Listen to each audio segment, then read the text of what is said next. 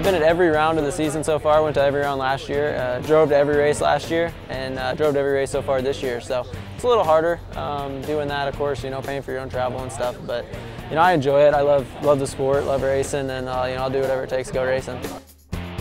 I look at it and try to be a little bit more relaxed with it all. You know, we get to sleep in my own bed at night, and you know, don't have to get a hotel and used to the dirt around here, and uh, you know, it's good. It's the stadium I grew up dreaming of racing in, so you know, it just kind of comes around, and, and I really like being here.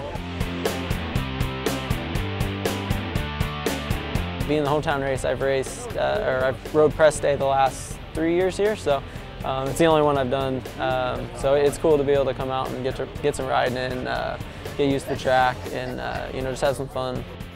And every time I'm on the track, whether it's at home or practice track somewhere else or at the race, you know, I try to treat it all the same. So, uh, you know, when we go out on the track, just treat it like we're at the race, and uh, that's the best thing I believe you can do. Yeah, so Skills Racing uh, is my gear sponsor. They uh, came up with this super cool Cardinal, St. Louis Cardinals themed gear uh, for my hometown race. So opening day uh, for the Cardinals is on Sunday, so we're racing on Saturday. Figure we'd represent. Uh, looks like we're gonna have a pretty long set of whoops this week, um, which which should be good. Um, the finish line's a triple this week, so that's a little different too. I haven't seen that ever since I've been racing. So, um, but it's good. We got a you know look, I think a couple more lanes than normal maybe. We got an over under, so the track's got about everything. So I'm I'm excited to go racing.